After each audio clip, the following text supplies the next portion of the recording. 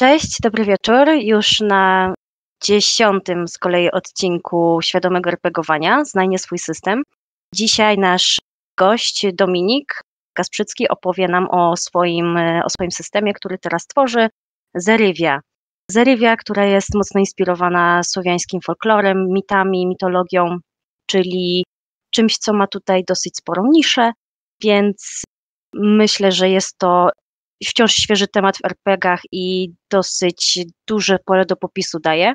Dominik, opowiedz nam proszę, czym jest Twój system, na czym się opiera i jak powstał. Sam system powstał zainspirowany folklorem, mitami słowiańskimi, ale też baśniami. Zaczęło się w ogóle z, z inicjatywy gry planszowej. Założyłem z znajomym wydawnictwo, stworzyliśmy grę planszową. Teraz kolejnym krokiem jest jakby wzbogacenie tych opowieści w grze planszowej poprzez szersze jakby spektrum i, i dlatego mamy do czynienia z RPG. A same w RPG gram całe życie, więc e, to było po prostu, dla mnie to było naturalne, że tak to się skończy. I e, Zerywia to jest świat mocno jakby mm, inspirowany baśniami, tudzież jakimiś historiami, folklorem, ale nie trzymamy się jakby takiego stricte, nie próbujemy uczyć historii, nie próbujemy przekładać dokładnie zapisów z książek, tylko bawimy się tą konwencją, my się nią inspirujemy. Głównie po to, żeby e, zarazić, zaciekawić ludzi, młodych, ale też z zagranicy, którzy nie do końca szukają tylko jakichś e, faktów historycznych, jak to było, tylko jakieś opowieści, które prowadzą ich do tego świata słowiańskości, a później oni sami w swoim zakresie dowiedzą się dokładniej pewnych takich naukowych terminów. No i sama Zerywia, z racji tego, że ja ją ilustruję, no to tutaj nie miałem problemu, żeby wymyślić sobie całą krainę i te postacie i bohaterów. No i tak się zaczęło. Tak jakby kroczek po kroczku. Mnóstwo lat się ograłem w Warhammera, bardzo dużo się ograłem też właśnie w inne systemy fantazy, jak Mroczne Wieki Wampira, czy właśnie same Dedeki. I w tym systemie widać ogólnie wiele różnych takich też kawałków, które zostały zaczerpnięte z tych światów. E, zawsze uwielbiałem w Warhammerze motyw Norsemenów i całej wojny i samej mapy Starego Świata i chciałem to też mieć tutaj, tylko żeby to był bardziej Bałtyk, żeby to były nasze landy, żeby to była jakaś inna historia troszkę.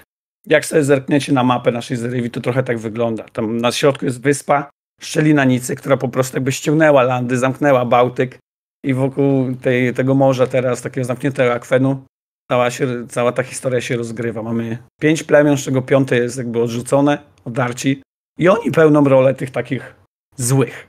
Tylko, że ja lubię, jeżeli w świecie nawet ci źli mają jakby swoje ku temu powody. No i jak się zastanowicie, no to każdy odrzucony człowiek jakby też jest zły, złości się na świat i też chce jakiejś sprawiedliwości. Tak samo im właśnie odartym o coś chodzi. Oni chcą mieć swój skrawek e, ziemi. Oni chcą mieć to, co, co inne plemiona dostały, a im, im nie dano. Więc sam, sam świat jest troszkę taki wiedźmiński, jakby pokazuje moralność, czyli jest biel i jest czerń, ale są też obszary szarości, to, to jak bohater się będzie zachowywał, to oczywiście wszystko zależy od, od charakteru. I, I dedeki właśnie mają fajny system, jeżeli chodzi o charakter. Jest zawsze ten taki miks. Podoba mi się też w dedekach, w piątej edycji, ten system jakby planowania, jakby uczenia się pewnych czar na jakieś starcie i tak dalej. I tutaj też mi to zaskoczyło, że to jest jednak coś, co jest fajnym motywem. Odpowiada tej takiej rytualnej, pradawnej jakby naszej mitologii, gdzie się przygotowujemy na coś, gdzie, gdzie prosimy o coś, żeby się wydarzyło w przyszłości. I ta mechanika tutaj jak najbardziej działa. W Warhammerze ona jest za bardzo instynktowna. Praktycznie tam się odbywa wszystko natychmiast, jak się to ma. A w dedekach właśnie trzeba odpocząć, trzeba się zastanowić, jak ma się jakieś inne czary, w zależności jaką szkołę się tam y, używa, no to, to, to trzeba to troszkę zaplanować. Więc tak to mniej więcej wygląda. No i co mam powiedzieć? Jestem zadowolony z tego, jak kampania idzie. Mam nadzieję, że uzbieram jeszcze więcej y, pieniążków i, i się rozrośnie, bo to jest jakby dopiero początek, gdyż każ, ja, ja bym chciał mieć polski system, który jest nasz po prostu, który się rozwija, który zaraża Zachód, który jakby ściąga ich do nas, nie na odwrót. I uważam, że Zerywia może być takim systemem. Ona może, może zrobić coś więcej. W planach jest mapa taka online interaktywna. Ci, którzy oglądają serial nie, yy, Wiedźmina, to, to widzą, pewnie wiedzą, jak mapa Netflixowa wygląda. Bardzo mi się ten pomysł podobał. Chciałbym coś takiego zrobić dla Zerywi. Z tym, żeby tam ludzie mogli sobie budować domy swoje i wpisywać po prostu w, w księgach swój życiorys, pomysły na przygody i takie rzeczy. Po prostu stworzyć taką platformę online'ową, skarbnicę inspiracji dla mistrzów gry, dla graczy, żeby mieli swój zakątek, żeby, żeby budowali po prostu ten świat, żeby byli prawdziwymi mieszkańcami. Czegoś takiego chyba nie było jeszcze w RPGach. One przeważnie są hermetycznie zamknięte w, w książkach, a tutaj ja widzę duże pole na to, żeby to jakby uruchomić. I, i mam nadzieję, że to się stanie. Że prędzej czy później to, to, to jak eskaluje i będziemy się po prostu bawić tym, tym systemem. Mechanika 5E, bo uważam, że jest bardzo dobra. Jeżeli się dobrze prowadzi, to jest bardzo dobra. Jest elastyczna, pozwala na wiele błędów, potrafi stworzyć sytuacje, które, które są unikalne i można się odnaleźć praktycznie w każdym, w każdym jakimś tam zadaniu, znaleźć wyjście i to nie jest skomplikowany system. No i dzięki temu, że jest na takiej otwartej licencji, że można jakby użyć tej mechaniki, daje nam to ogromną ilość czasu na tym, żeby się skupić na scenariuszach i na ilustracjach, czyli na tym, tym co nas tak naprawdę jara. Wymyślanie mechaniki od nowa, Jesus, to jest jakiś, ludzi, to jest masakra. Trzeba poświęcić pół roku, minimum rok, żeby mieć system, który faktycznie ma oryginalną jakąś mechanikę.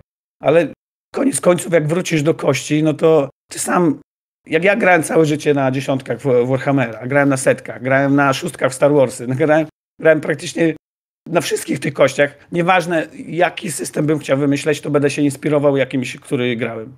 Po prostu intuicyjnie. Więc to jest takie wynajdowanie koła na nowo. To już lepiej wziąć coś, co jest gotowe i ewentualnie doprowadzić małych jakichś y, lekkich szlifów, urozmaicić, poprawić. I to robimy w Zerybi. Dodajemy kilka takich opcjonalnych zasad, które możecie sobie zawsze użyć. Nie musicie, możecie. Możecie grać po prostu na takim dedekowym standardzie i nic, i też będzie fan. Ale mamy tutaj catch, mamy ist, mamy status, rzeczy, które po prostu moim zdaniem mega ułatwiają rozgrywkę. No i o to chodzi, żeby się fajnie bawić. I z chęcią bym jakby opowiedział, odpowiedział na pytania. Z takich rzeczy, które mogę dodać jeszcze, to przez to, że jest to nowy system jakby tak od, pod względem e, świata, to, to nie jest jakby sourcebook. W sensie, że my nie robimy tylko dodatkowych podklas. My robimy nowe klasy po prostu. I tu będzie, podręcznik będzie zawierał wszystko, jakby łącznie z elementami mechaniki, jak grać, z bestiariuszem, przewodnikiem po świecie, zbiorem inspiracji co do opowieści. Trochę tak jak ma Warhammer czwarta edycja, on ma wszystko. I my tak samo tutaj w podręczniku Zerywi chcemy, żeby był podręcznik gracza, almanach mistrza gry i bestiariusz jakby po części. Oczywiście jest miejsce na dodatki, jakieś e, dodatkowe podręczniki, ale na razie chcemy się skupić na jednej księdze, która, którą jak masz, to praktycznie masz wszystko. I z czasem wejdziemy w bardziej taki nasz słowiański klimat. Ale musimy pamiętać o tym, że chcemy też odnieść jakby sukces na zachodzie i musimy się trochę pokazać od strony fantazy, trochę od dark fantazy, tego co jest jakby, tego co lubię, ludzie lubią. Ale wtedy pojawi się też miejsce na, na specjalne lokacje, na specjal, specjalne kampanie, scenariusze, w których bardziej się będziemy mogli skupić na tym, co nasze, na, na bardziej opisach wierzeń i, i tak dalej. Bo główną boginią zła tutaj jest Nica, pani ciemności i zapomnienia. I tak naprawdę w całym tym świecie chodzi o, tym, o to, żeby nie zapomnieć, kim się jest. I żeby nie zapomnieć o tym, kim jest świętowid. Światło, które nam świeci i nas prowadzi w drodze życia. Także mam nadzieję, że ludzie popatrzą na to trochę z innego punktu widzenia. Bardzo staramy się tutaj też pchnąć gracza w kontakt z naturą. Może, może, może ten, ten świat ogólnie komuś otworzy trochę oczy, pokaże, że, że, że jest jeszcze coś innego niż tylko ten pęd y, konsumpcyjny i tak dalej. Chcielibyśmy, żeby wróciły jakieś zloty y, słowiańskie, żeby fajnie się bawić y, wiecie, przy ognisku i, i robić sesje, larpy w terenie i tak dalej. Więc to by było bo tyle z mojej strony. Kampania cały czas jest, ostatnie dni i tak naprawdę Później będę się przygotowywał już do anglojęzycznej. Będą się pojawiać nowe ilustracje, będą się pojawiać też dodatki, bo jednym z dodatków jest e, Dragon Lore, czyli Ziemie Smocze. Ale on jest taki bardziej ogólny do piątej edycji, bardziej pod kątem dedeków. ale jest idealnym suplementem też właśnie do, do Zerivi.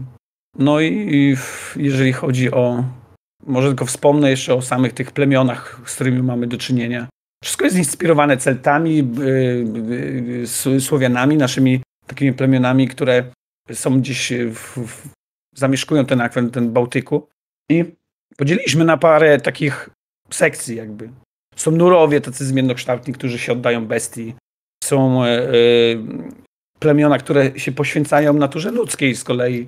Inne z kolei bardzo pragną do, do tej boskości, by, do obcowania z bytami boskimi, a, a inne z kolei e, oddają się naturze. Więc staramy się pokazać jakby tą różnicę taką ideową każdego człowieka, każdy inaczej postrzega ten świat. No i jak już się dowiecie wszystkiego na temat tej naszej zerywi w płaszczyźnie żywych, to zawsze zostaje jeszcze furtka, żeby przekroczyć przez monolik, monolit bramy i, i zaglądać do Weli, do świata umarłych. A jak tam wam się znudzi, to możecie zawsze spróbować szczęścia w świecie e, nie byli bogów i pogadać ze Świętowidem na temat tego, czy, czy wszystko jest ok. Więc to by było na tyle, jeżeli chodzi o samą zrywię. Możemy pogadać na temat mechaniki i jakie mamy pomysły, uproszczenia i dodatki.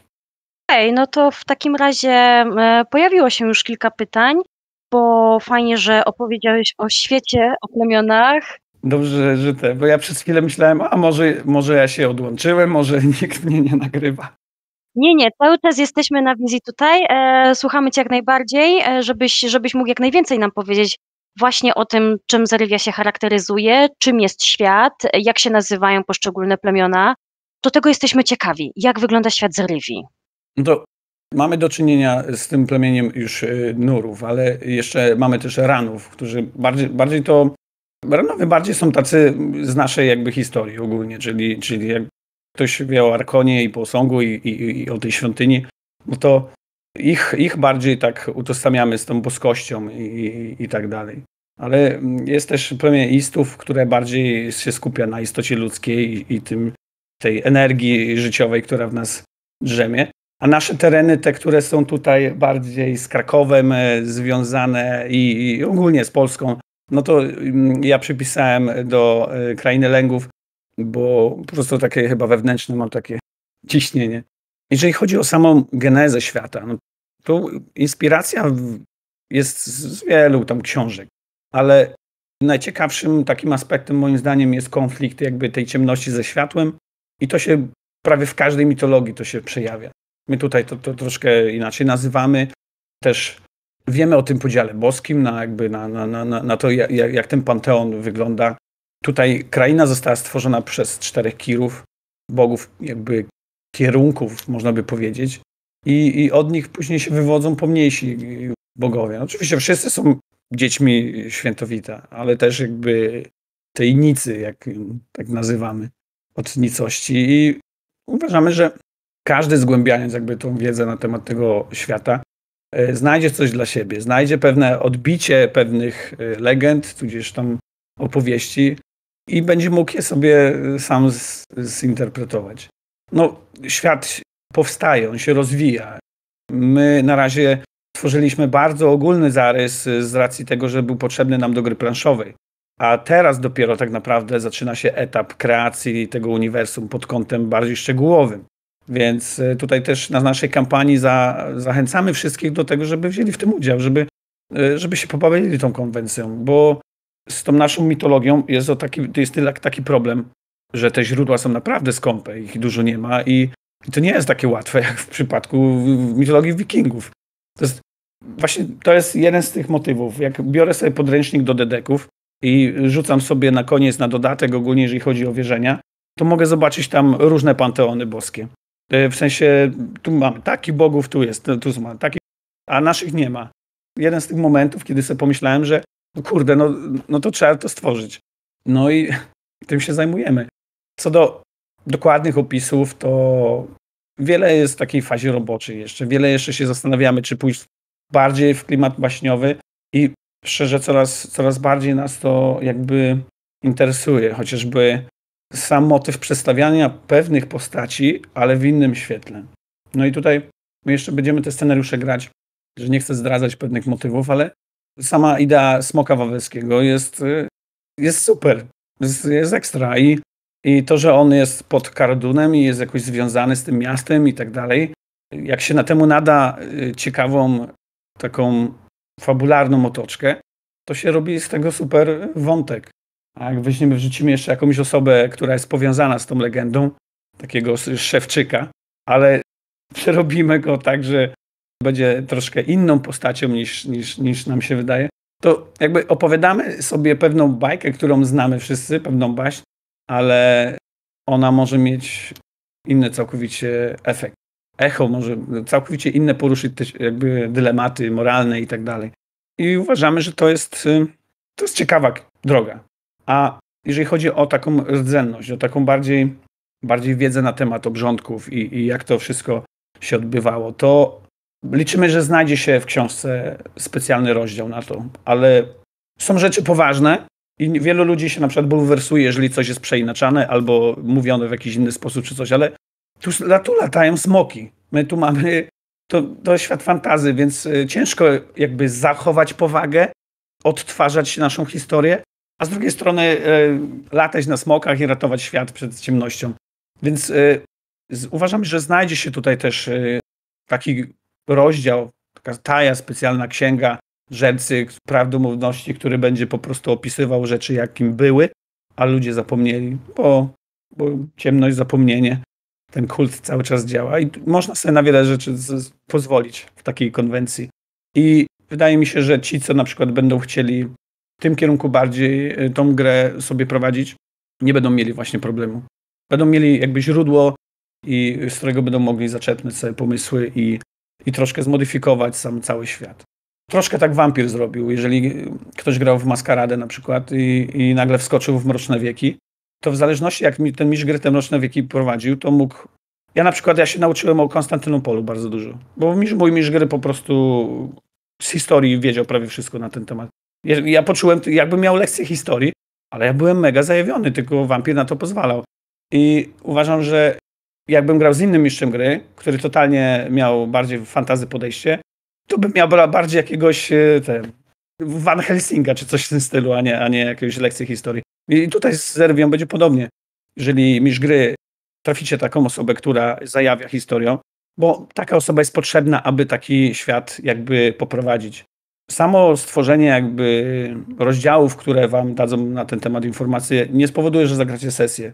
Jednak osoba musi czuć ten klimat. Ja jestem bardziej fantazy, ja jestem bardziej dark fantazy, lubię uciekać jakby ze świata takiego z podręczników, z historii, ale czasem zataczam koło i zdarza mi się sesja, gdzie jestem totalnie sfokusowany na tym, co było, jak było i, i tak dalej.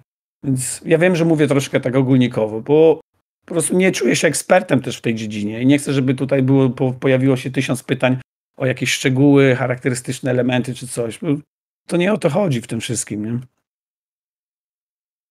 E, jasne, dzięki. Fajnie, że się odnosisz do różnych systemów, bo jak wspomniałam, są tutaj pytania od, od naszych słuchaczy i myślę, że na pierwsze dwa odpowiedziałeś pytania Arka. Czy są planowane dodatkowe podręczniki ze scenariuszami oraz e, klasami, profesjami? Wspominałeś już o tym. Natomiast. E, właśnie... Tak, i jedna ważna rzecz, bo chyba na kampanii nie jest to dobrze opisane, bo ktoś pisał, że jest mało scenariuszy, a my zrobiliśmy taki, taka nagroda, to się nazywa Bohatyr, i tam w samej nagrodzie jest zawarty mini scenariusz. To jest jakby przy współpracy z tą osobą, która wsparła projekt, my tworzymy jej jakby tło, a tym samym tworzymy wątek fabularny, który może zostać użyty jako wątek poboczny w danym scenariuszu albo być w ogóle mini scenariuszem. Więc już teraz chyba 12 osób to jest już 12 scenariuszy i ktoś tam, ktoś tam zapytał, a co jeżeli wesprze ten próg, nie wiem, 100 osób? To po prostu powstanie dodatek cały na temat y, ciekawych person ogólnie w tym świecie, opowieści, lokacji, map i tak dalej. Więc to będzie też taki fajny y, motyw, y, skarbnica właśnie pomysłów, bo nie, nie tylko będzie tam mini scenariusz. Będzie osoba, która jakby jest jakimś NPC-em, ale też można być, można nią zagrać. Jej lokacja, jej mapa.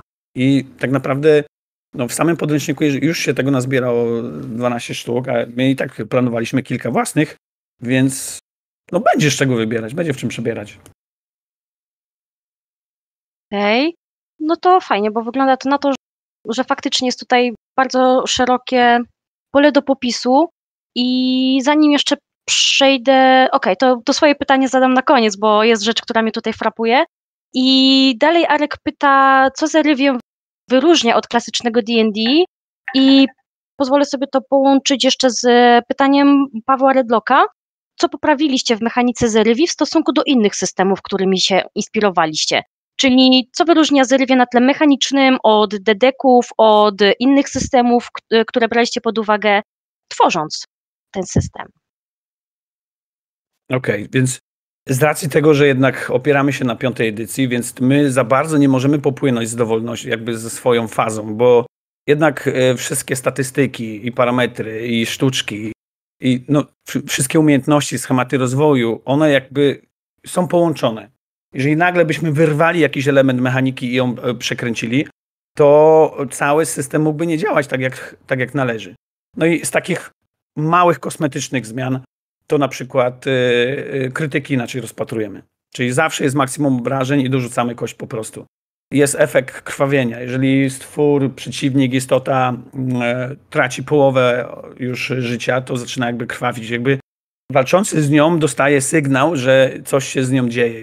Jest świadom tego, na jakim jest etapie jakby konfrontacji. Yy, jeżeli chodzi o eliksiry i leczenia, tutaj bardziej odsuwamy to takie komputerowe granie, czyli wpadam w wir walki, ile mam eliksirów i po prostu jestem niezniszczalny.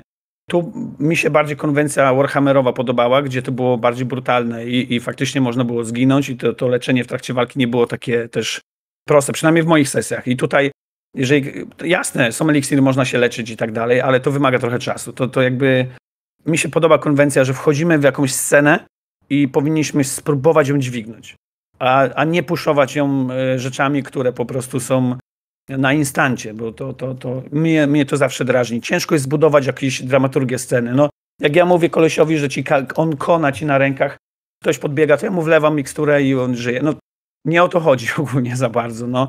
Zawsze powinno być jakby ten. I mam nadzieję, że na tej sesji, co się pojawi, to też zobaczycie pewien motyw, o, o który mi chodzi, że można stworzyć napięcie i dramaturgię, i jakby w dedekach, pomimo, że one pozwalają od ręki, od ręki ją zabijają. Czy to są pomoce przy testach na tą śmierć, czy to są eliksiry, czy jakieś czary.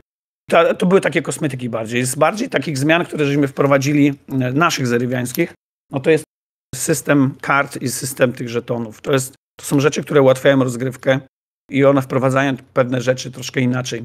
Mianowicie takim ba najbardziej banalnym to jest yy, żeton statusu, bo ja wiem, że są gracze, którzy uwielbiają analizować, ile mają pieniążka, ile mają koron, złotych, monet i na co ich stać, na co nie stać. Ale tutaj gramy bardziej naszą postacią. Jesteśmy po prostu w Zerywie, jesteśmy klanowcem. Bardziej takim, to co masz ze sobą świadczy o statusie, a nie, że masz coś w banku jakimś. Więc to jak się obnosisz, czy jesteś odziany w złoto, czy srebro, czy po prostu w kości, świadczy o tym, jaki status masz. I ta moneta, którą masz, w zależności na którym rewersie, ona automatycznie daje sygnał otoczeniu, co reprezentujesz. Więc wchodząc do miasta, idziesz do dzielnicy, dajmy na to bardziej takiej zamożnych, jakichś e, od, od, no, po prostu żerców, którzy tam mają swoje siedziby i, i tak dalej. No, jeżeli ty wchodzisz tam z tą monetą na statusie jakby kości, czyli jesteś najbiedniejszy, a widzisz, że oni się obnoszą i, i, mówią i mają mm, jakby samą specyfikę komunikacji jakby na wyższym poziomie, to ty automatycznie masz jakby wyższy poziom trudności w, w konfrontacji z nimi, przy, przy rozmowach i tak dalej. I normalnie w dedekach tego nie ma. No w dedekach podchodzisz i rzucasz po prostu. Nieważne, czy e, jest się bogatym, czy biednym. No oczywiście mistrz gry może to wziąć pod uwagę, ale często jest tak, że zapomina po prostu. Bo, bo gry nie śledzi wszystkich finansów, jakie ma dany y, gracz. I ta sama rzecz się tyczy, y, jak wchodzicie na przykład do jakiejś oberży i chcecie zjeść i wziąć nocleg. I jasne, można się bawić w liczenie, podliczanie czy coś, ale można po prostu, jeżeli jesteś y, na statusie srebra, jeżeli jesteś zamożny, to ty wiesz, na co cię stać. To po prostu ty, ty to dostajesz. I możesz powiedzieć, że pijesz ze wszystkimi przez tydzień, ale wtedy po takiej scenie, po takiej biesiadzie, Mistrz gry może zażądać, żebyś zmienił swój status ze srebra na kości, żebyś spadł w hierarchii jakby, bo po prostu tyle to kosztowało. Ogólnie. I tu bardziej chodzi o to, w, w jakim ty etapie wchodzisz w daną scenę a nie y, w danym momencie, y, ile ty masz złota gdzieś tam odłożone, czy schowane, czy, czy po prostu ulokowane w miejscach poza tobą. Więc ten system taki statusu klanu, on, on jakby ułatwia pewne rzeczy. I to jest jedna, jeden żeton. Dużo ważniejsze są żetony Istu i żetony Kadzi, bo to jest, reprezentuje mniej więcej światło i ciemność. I każdy bohater ma, jest naładowany żetonami Istu, jakby tą energią. I głównie ją używa do aktywacji różnych specjalnych zdolności, specjalnych reliktów, specjalnych rytuałów. Czasem też potrafi wzmocnić działanie danych takich rytuałów i reliktów, które przed nie wymagają od samego używania, wydawania już samego istu. Tylko, że kiedy bohater to robi, on wy, wyzbywa się tej mocy i w, przy konfrontacji z bardzo plugawymi istotami albo przy eksploracji takich terenów, które są bardzo splugawione kadzią, czyli tą, tym, tym, tą ciemnością, tym, tym, tą smołą, tym złem wcielonym, to może się jakby zarazić, może zaprosić tą ciemność do siebie. I często mm, są takie momenty, kiedy ta kać może w ciebie wniknąć i jeżeli na przykład nie masz w ogóle istu, to jest to łatwiejsze dla niej. E, jeżeli na przykład y, gromadzisz tą energię, ona cię chroni jakoś dodatkowo, ale w ten sposób też nie wykorzystujesz ją e, do, do ułatwiania sobie życia poprzez relikty i poprzez rytuały. I tutaj to jest fajny taki balans pomiędzy tym jakby jasnością i ciemnością, a jak już wiemy, do czego służy IS, to z kolei kać to jest żeton, którym się bawi mistrz gry. I jeżeli uda mi się zarazić gracza, to ja później mogę tą kać wykorzystać jakby... To jest jakby ten człowiek jest przeklęty w pewien sposób ale to ode mnie zależy, jak ja ją użyję. I to pozwala taki, wprowadza niepokój i gracze jakby zawsze, tra, troszkę są nieufni wtedy, jakby bardziej im zaczyna zależeć na tym, żeby może znaleźć sposób, żeby się jej pozbyć, tej kadzi, bo, bo ja bym nie chciał w danym kluczowym momencie e, mieć jakąś, jakieś utrudnienie, jakąś konsekwencję, jakieś wypowiedzieć słowa, których bym bardzo żałował, czy coś w tym stylu. A mistrz gry może właśnie w ten sposób budować fajne e, momenty w scenariuszach, takie fajne sceny. I mówimy tutaj o, o mistrzu gry, który się bawi razem z graczami, nie takim, który po prostu lubi się pastwić nad nimi. Także mamy ten żeton kadzi, mamy te żetony istu i one jakby upłynniają trochę rozgrywkę, a karty wprowadzają jedną z taką zasadę, gdyż ta kraina jest y, spowita y, tą mgłą zapomnienia. To powoduje, że ludzie nie mają takiego prostego dostępu do magii, tak jak jest w dedekach, do tych wszystkich dziedzin. Nie ma komórk, gracz, który zaczyna tutaj klasę, on nie dostaje komórek, żadnych czarów, nic takiego. Może się ich nauczyć, to jest dozwolone, ale jakby początkowo on, on ma ten ist. To reprezentuje jakby takie komórki. To, jakie on rytuały się uczy, i chodzi o to, że wszystkie karty rytuałów, wszystkie rytuały, które się uczycie, one bazują na, na waszym ciele i są związane ze sobą. A z kolei relikty to jest jakby twoje oddziaływanie na przedmioty. Czyli są takie dwie szkoły to, jak ist wydajecie, no to już od was zależy, czy się bawicie bardziej reliktami, czy jesteście tacy, że zbieracie te przedmioty, nosicie i jakby w tym upatrujecie sobie swoją fazę, czy wolicie tatuować swoje ciało i, i szwaszerować się różnymi rytuałami, jakieś obwieszki specjalne i tak dalej. I te rytuały w odróżnieniu jakby od tych, które są w dedekach, one są na, wa na was. Więc jak w dedekach przeważnie trzeba poświęcić więcej czasu na to, żeby rytuał jakiś rzucić to tutaj trochę też tak jest. Przy długim odpoczynku wy, wy sobie wybieracie, które rytuały są na was, ale istem je triggerujecie jakby. Czyli ten ist pozwala wam jakby przerobić je w taki efekt natychmiastowy. Przeważnie mają one trzy fazy, trzy różne działania. Tak samo relikty. Jest jakiś taki bardziej y, lekki efekt, który się skaluje z rozwojem postaci. Jest taki, który poprzez ist jest mocniejszy. No i jest jeszcze zapisek fabularny. I ten zapisek fabularny on jest bardziej zabawą dla mistrza gry, ale też trochę ćwiczy wyobraźnię gracza. I na przykład y, jest przedmiot drzazga, który powoduje, że można przebudzić, składając ofiarę, można przebudzić twarz ogólnie w świętym drzewie. I to jest zapisek fabularny na przedmiocie. I teraz, jaką ofiarę? I a jak przebudzisz, co się stanie? I jakby to jest taki motyw y, ciekawy. Albo jak masz y, tą zwadę, ostrze, w którym mieszka jakaś istota ognia masz opisane efekty, jakie dostajesz za ist i przy trafieniu i tak dalej, ale na przykład w świątyni Swaroga możesz spróbować nawiązać kontakt z, tą, z tym bytem, ale nie wiesz, co ci powie, nie wiesz, co zrobi. I to jest taki, czasem pełni to rolę taką jakby pomoc, jak na przykład gracze muszą odnaleźć z, z pracy jakiejś zbrodni i widzą, że mnóstwo rzeczy było popalonych. może ta istota zaklęta w takim ostrzu, jeżeli ty masz, może będzie wiedzieć coś na ten temat w tej, w tej swojej egzystencji, nie? I pozwala jakby każdy przedmiot, każdy relikt przez ten dopisek taki fabularny, on jest takim mini kłeścikiem, mini side kłeścikiem ogólnie. I czasem to też może ewoluować i, i rozwijać się w coś bardziej poważnego, e, jeżeli gramy kampanię. No, uważamy, że to jest fajne. I też ta sesja, którą próbuję już zmontować, zrenderować, ona, no staraliśmy się jakby na sesji, znaczy ja starałem się ją tak zaprojektować, tą przygodę, żeby pokazać jak najwięcej tych elementów. I mam nadzieję, że, że się spodoba. Także y, to by było, jeżeli chodzi o, o mechaniki, które Zrywia ma, które się jakby wybijają. Jeszcze tylko tak podkreślę, na koniec podsumuję. Ja lubię dedeki, ale dużo lepiej się bawiłem w Warhammera, w mroczny klimat. I Zerywia jest trochę takim połączeniem. Trochę mamy tutaj jakby dedeki, ale, jak, ale ta kraina jest bardziej, bardziej poważna, jest bardziej brutalna i też zmusza do myślenia, w sensie takiego moralnego, takiego gdzie się trzeba zastanowić nad pewnymi rzeczami, jakim się jest człowiekiem. I uważam, że to jest, to jest fajny motyw właśnie. Okej, okay, czyli e, uwaga, teraz pada nasze sakramenckie pytanie. Czyli da się na tym poprowadzić Warhammera, tak? Da, da się. Da się, bo ja Warhammera uwielbiam i go kocham. Da, da się poprowadzić, no. No. Można. Ja uwielbiam uniwersum Warhammera, także ja jestem na, na tym punkcie trochę też takim wariatem. E, no i oczywiście też 40 i te wszystkie edycje i tak dalej, i bitewniak. Ale tu by gadać i gadać i gadać. Ale ja liczę, że ten świat, on się stanie czymś innym trochę. On, on jakby zyska taką własny, własny pęd, własną energię poprzez bardziej ten taki związek z naszym panteonem bóstw i z samą naturą. I konfliktem wewnętrznym jakby tego, tej odwiecznego, tej moralności, tego dobra ze złem. I no liczę, że to będzie coś fajnego. A, a ten aspekt baśni ogólnie to, to, jest, to może nastąpi formę czytania książek po prostu. Kiedy żeście czytali jakieś baśnie, jakieś książki? Oprócz RPGów oczywiście.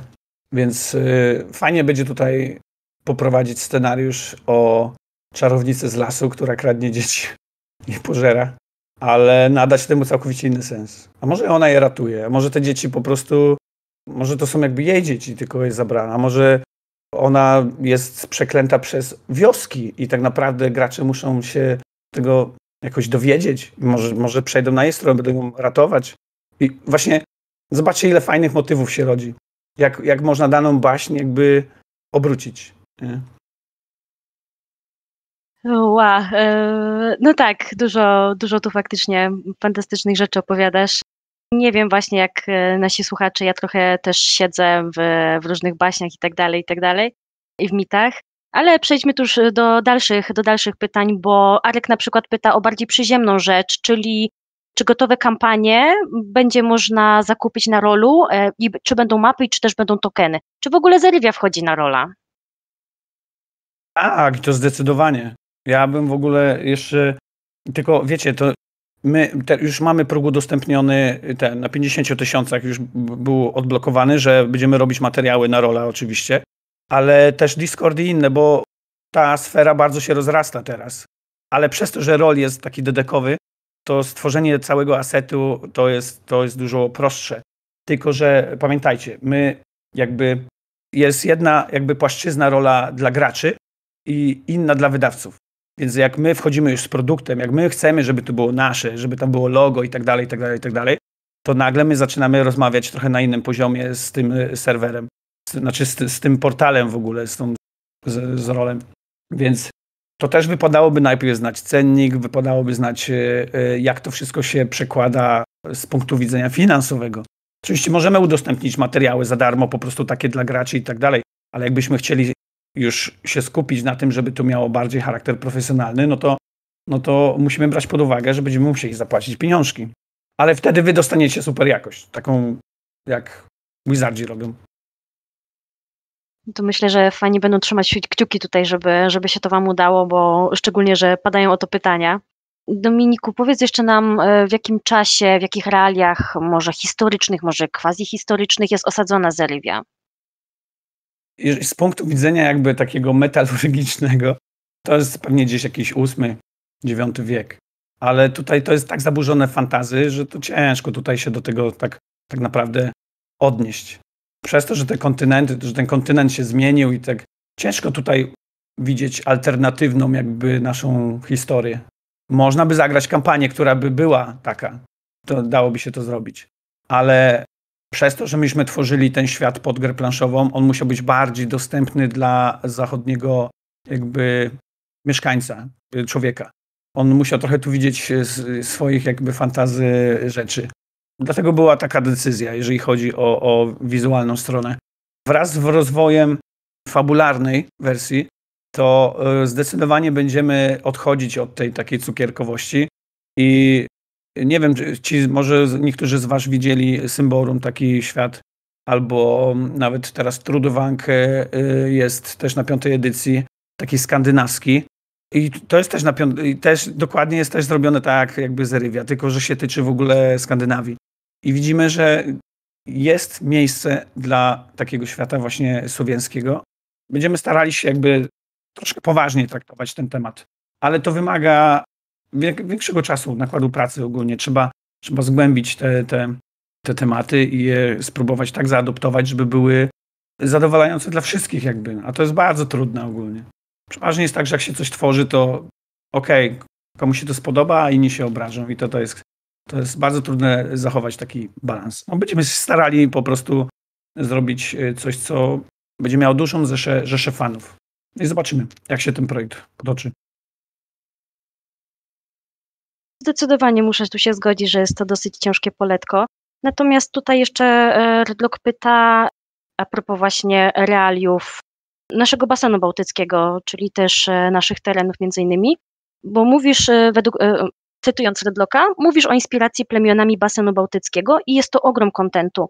Jak rozumiem, podręcznik będzie swego rodzaju wytycznymi, a sam świat pozostanie w pewien sposób otwarty. Czy będziecie zarysowywać i inspirować, pozostawiając otwartą furtkę dla społeczności, czy skupicie się bardzo na szczegółowym opisie świata? Znaczy tak, ta kraina, ona jest tak skonstruowana, że te plemiona Nurów to są bardziej celtyckie takie rzeczy i one, jakbyśmy chcieli teraz rozwinąć tą ge genezę tej krainy, to praktycznie wchodzimy w jakieś mity arturiańskie, jakby w taką pradawną e, wiarę e, z tamtych terenów. I, I na przykład wiemy, że gracze z wysp e, by bardzo byli za tym klimatem. Jeżeli pójdziemy z kolei w Ranów, to zahaczymy o Germanów i, i pójdziemy w, w te tereny i, i wiemy, że tamci gracze by byli też super zadowoleni. W Skandynawii to my już mamy jakby ten Trudwag trochę już to robi za nas, ale jeżeli chodzi o ziemice lęgów, to, to jest w przyszłości chciałbym zobaczyć dodatek o tych ziemicach, gdzie cała mapa ogromna to będą nasze tereny. To będzie po prostu Polska z jakimiś tam ościennymi jeszcze skrawkami. Ale wiecie, i, i tu będą osady, i tu, y, tu będziemy mieli nasz, nasz Wolin, i tu, tu będą wszystkie te rzeczy, które będą tak. Możliwe, że to będzie trochę epokowo wcześniej, dajmy na to. Możliwe, że to będzie bardziej pierwotna kolebka taka, która pozwoli nam właśnie na przemycenie takiego bardziej poważnego podejścia. Ale to wszystko też będzie zależało od was, od graczy, czy, czy tego będziecie chcieli. Bo jeżeli feedback z sieci, z, z, z, sesji będzie taki, że podoba nam się fantazy, podoba nam się dark fantazy, idźmy w tym kierunku, no to my pójdziemy, bo ja nie jestem człowiekiem, który po prostu. Ja uwielbiam słuchać ludzi. Ta kampania, którą widzicie na Wspieram, to ona taka jest. No, ludzie wyrażają pewne swoje opinie i my je łapiemy. I, i tak, jeżeli coś ma dużo sensu i, i ludzie tego chcą, no to, no to my w tym kierunku idziemy. Podobają mi się te, te słowa o tym, że, że słuchacie feedbacku. I co? I mogę za Was trzymać kciuki. E, natomiast powiem tak, no pytań nie ma, chyba że jeszcze chcecie o coś zapytać Dominika. W formie takiej trochę opowieści przedstawiłeś e, Zeriwie, przedstawiłeś świat. Wygląda to faktycznie baśniowo, kolorowo. Okej, okay, widzę, że Redlog jeszcze coś pisze, e, więc poczekajmy. Natomiast faktycznie brzmi to, brzmi to bardzo różnorodnie, brzmi to ba bardzo fantazy. Dobra, i to, to jest taka, to jest nasza mapa ta, naszego świata. To są tereny bardziej nasze właśnie y, lęgów. No, zaczęliśmy od Karodunu, ale oczywiście przez Wisłę możemy tutaj popodłączać różne miasta i, i całe te lasy Pomerii, to wszystko przerobić, tą Arkonę też. No tutaj mamy tą część właśnie bardziej taką y, celtycką, tu germańską, no i skandynawską. Więc mniej więcej tak to wygląda jeżeli chodzi o krainę. No i uważam, że fajnie się pobawić w tym, jak ona jest taka plastyczna, ale będziemy tworzyć też taki wariant RPGowy, czyli taki bardziej jak rycina, rysowany. Ale dobrze mieć też taką. Jeżeli chodzi o klasy, to mamy właśnie, mamy widzącą, która jest bardziej takim e, typem, albo widzącego, no to, to są, to może, można tą i tą płcią grać. Czyli osoba, która czasem ma wizję i dostrzega czas na różnej jakby sferze czasowej. Ona bardziej ma wgląd w niebyle, tam w tą krainę boską, bo, bo tam czas jakby troszkę inaczej biegnie, tam w innych realiach to się wszystko odbywa i też przez to może obcować też ze stworzeniami z Weli.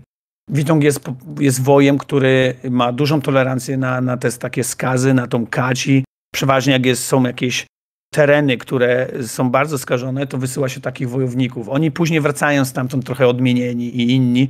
I do pewnego momentu są bardzo, y, mają wysoki status w, w plemionach, ale, ale czasem y, no, zbierają swoje żniwo, swoich wypraw i tak dalej i są po prostu wykluczani. Zdrowista z kolei jest taką istotą, która jest z kultu drzewa życia, świętowida i, i ona jest najbardziej z naturą powiązana. Ona dba o ziemię, o, te, o życiodajną całą taką sferę. Żerca pełni rolę y, strażnika pamięci. Pamiętajcie, w tym świecie jakby zapomnienie jest największym wrogiem, więc on jest takim strażnikiem. Tutaj trochę przypakował ten gość, ale to dlatego też, że, że wszelkie rytuały, które są powiązane też takie ze zwierzętami, ze stworzami, to on też, też zna sekrety ich. I przeważnie jak ludzie się czegoś chcą właśnie nauczyć, to, to, to przeważnie idą do, do żercy. Też oczywiście od, pełni rolę tych wszystkich rytualnych y, i, i pochówkowych rzeczy. E, planetnik to osoba, która dużo jakby więcej czasu spędza e, w Weli. On jest taki uwięzionym trochę bytem pomiędzy światami. I na niższych poziomach on jest jeszcze człowiekiem, ale później coraz bardziej odbiega od tej sfery. Stworczyniąca to jest osoba, która jest zżyta ze stworzeniami ogólnie, ale ze stworzami. Ale pamiętaj, tutaj stworza to są nie tylko bestie lasu, nie tylko, to są też demony lasu, to, to też y, chochliki, diabły i inne takie, e, wszystkie te takie z legend dziwne stworki. No mamy też czarownicę, która one, ona jakby para się albo magią jakąś zakazaną, zła, domeną śmierci, tudzież y, jakby jest y, takim ujściem dla żywiołów. To w zależności jakie się wybierze, to takie rozwojowe y, zdolności, to taki charakter ona jakby nabiera. E, Hexer jest osobą, która, która pełni rolę takiego, takiej, takiej czarnej, czarnej owcy w danej wiosce. E, jak wiecie, zawsze jak na przykład rodzi się dziecko martwe, tak, no to trzeba kogoś winić. Nie? I na przykład można, można winić kogoś, kto coś jest, naj, jest, jest jakąś zakałą ogólnie w, w, danym, w danej wiosce. I ta osoba, ona się zaczyna czuć, że po prostu ściąga na siebie klątwy. I w pewnym momencie zaczyna w nie tak bardzo wierzyć, że one się manifestują w niej i ludzie chcą go mieć w osadzie, bo przez to inni są bardziej bezpieczni i wszystkie klątwy ciągną do niego, ale jak już stanie się za bardzo niestabilny psychicznie, to go wyrzucają jakby z tego. No on się staje takim wiedźminem, wiedźminem trochę takim. No można jeszcze bajarzem i wilkiem morskim, ale to, te klasy jeszcze mamy, jakby rozwijamy je dopiero.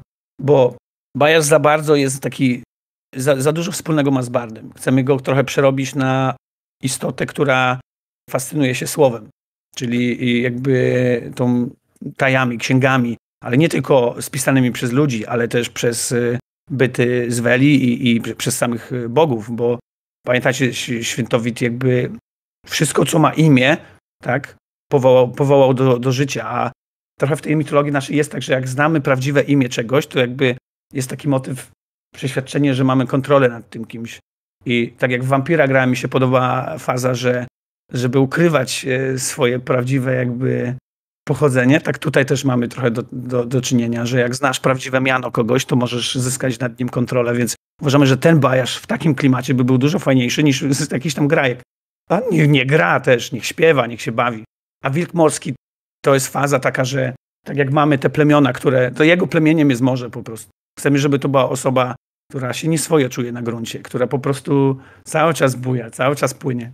I czy, trzeba jakby zbudować taką klasę dużo bardziej jakby ma się mniej odnośników z jakichś innych systemów, dużo mniej, trzeba wymyśleć po prostu dużo, dużo, dużo więcej. Dlatego nie mamy ich jeszcze gotowych, żeby tak pokazywać. Te osoby, te postacie, które tutaj mamy, są raczej takie pewne. I pamiętajcie, że w Zerywie można zagrać też każdą postacią z dedeków. Ona ma status przybysza.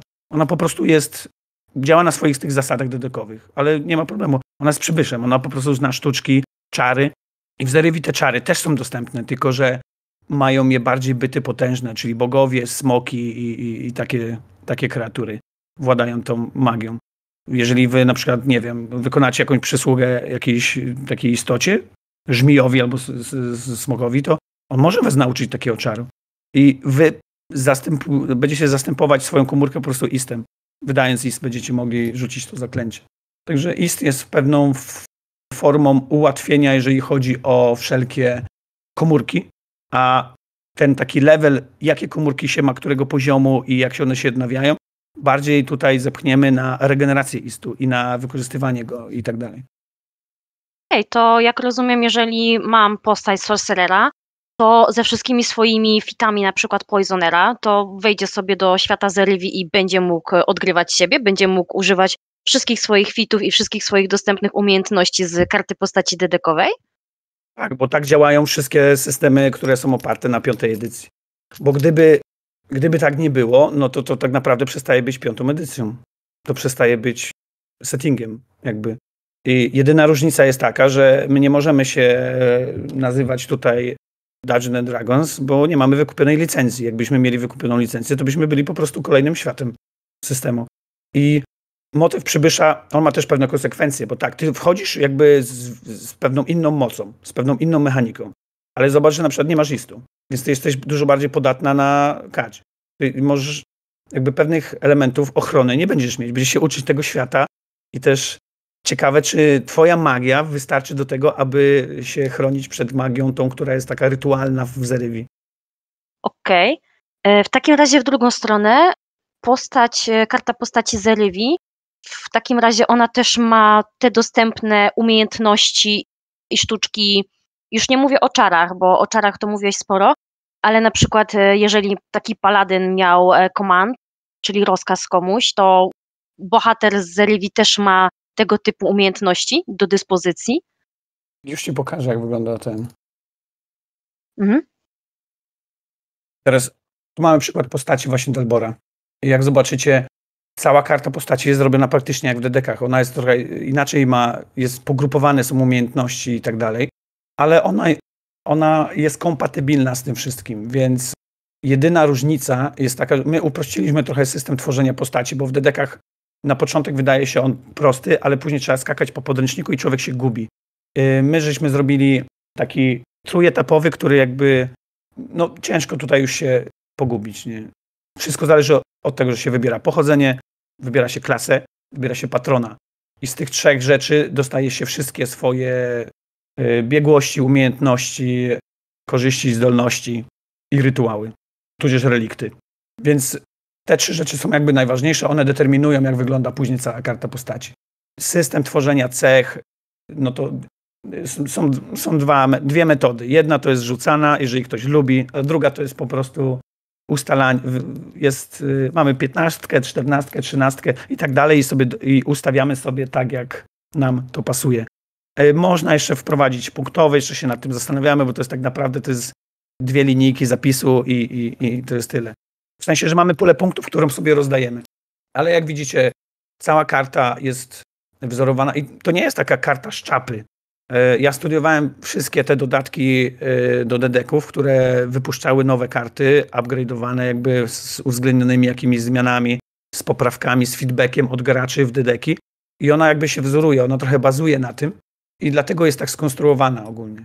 Więc wszystkie informacje, które tutaj jakby, zobaczcie, mamy rasę i patrona. My w Zerywie na razie nie mamy rasy, jakby tutaj to jest bardziej inaczej yy, sformułowane. Ale jest z myślą o tym, że ktoś będzie chciał grać na przykład e, w postacią z dedeków i nie będzie miał problemu wtedy, żeby wykorzystać tą kartę postaci. Jedyna inna sekcja to jest ta znane rytuały i tutaj mamy ten ist. Ale jeżeli gramy postacią, która tego nie ma z dedeków, to tutaj wpisujemy po prostu czary, które mamy i komórki. No a jak widzimy, styl walki bestia, no to, to jest jakby inny styl walki, który normalnie w dedekach nie ma. Więc my dalej bazujemy na tym, co dedeki wymyśliły, ale y, dostosowujemy to do naszego świata, żeby to miało jakby... Ale pewne rzeczy się pojawiają, jak ten drugi oddech. To jest kowyt krwi, to jest coś nowego w ogóle i I to jest bardziej z kadzią już powiązane, dlatego, dlatego te klasy będą inne. One będą, może niektóre będą miały pewne podobieństwa do, do tych klas dedeków, bo no jak ktoś walczy dwuręcznym mieczem, jest wojownikiem, to, to czy on będzie żołnie- czy wojownikiem, żołnierzem, gladiatorem, czy jak my to nazwiemy, tą klasę, to będzie miała jakieś cechy wspólne. No i no mniej więcej tak to się przedstawia. Okej. To jako, że dalej nie widzę jeszcze kolejnych pytań, oprócz jednego od Arka, też takie przyziemne, powiedz nam, czy znane są już jakieś terminy wydania choćby PDF-u, papieru? Kiedy zaczniecie rozprzestrzeniać podręcznik, że tak powiem? Ja mam ambitny plan, żeby to wszystko, y, żeby w grudniu wysyłać do ludzi. Ja mam y, w- 29 grudnia mam urodziny i to jest taki mój ambitny plan, aby ten prezent jakby, żeby jakby obdarować was tym prezentem. I to jest, y, jakiś czas temu ufundowała się kampania Dragon Lore na Kickstarterze i one są trochę powiązane, bo praca nad layoutem, nad projektem stron czy coś, ona jest bardzo podobna, bo my praktycznie robimy w tym samym systemie to wszystko. Także najwięcej czasu spędzimy na kwestiach tekstowych i na ilustracjach.